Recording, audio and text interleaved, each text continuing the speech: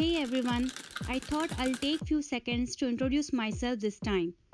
My name is Nikki Chauhan and I'm an artist based here in beautiful city of San Francisco.